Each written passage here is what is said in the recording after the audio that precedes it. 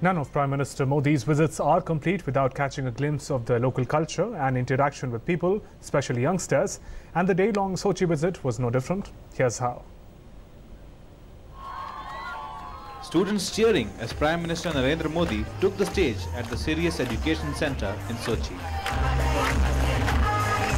While the bonhomie between the two leaders was on display throughout the day in Sochi, Prime Minister Narendra Modi was introduced to a unique side of President Putin's personality as the two leaders interacted with these enthusiastic youngsters.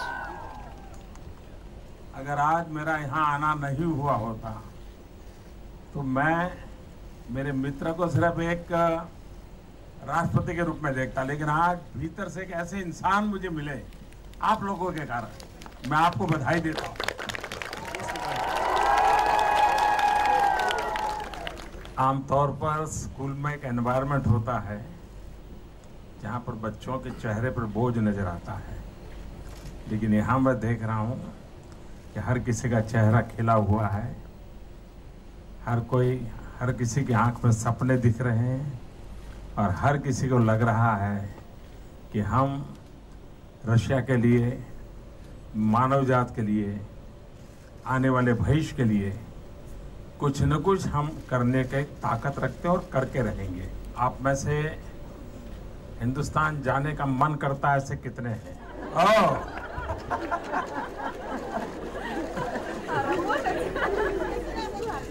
आप लोग भारत आने का कार्यक्रम अगर बनाएँगे और मैं चाहूँगा कि साल में एक बार यहाँ से एक ऑर्गेनाइज टूर भारत आए। और जब भी भारत आए मैं खुद आपके साथ घंटे दो घंटे बिताऊँगा। आपसे कुछ जानूँगा समझूँगा और भारत के बच्चों के साथ आपको मिलवाऊँगा। As the prime minister step of the stage he was surrounded by eager students asking for autographs and Narendra Modi oblige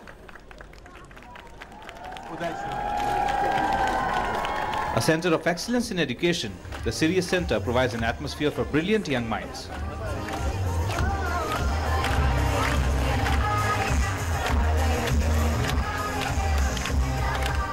Prime Minister Modi showed keen interest as he was taken around the center.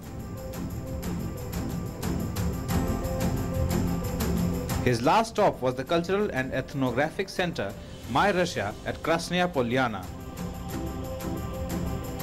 Prime Minister Narendra Modi's unique style of diplomacy sees him becoming one with every nation he visits, absorbing local sounds,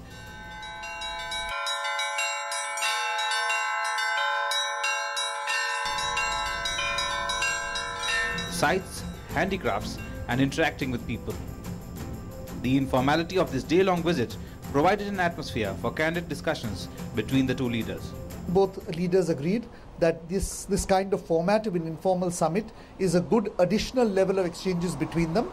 Prime Minister has, of course, invited President Putin to visit India in, in the second half of the year for the annual summit, and he looks forward to receiving President Putin in India.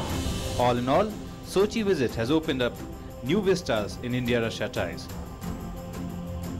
Sudhir Yadav and OP Das in Sochi for DD News.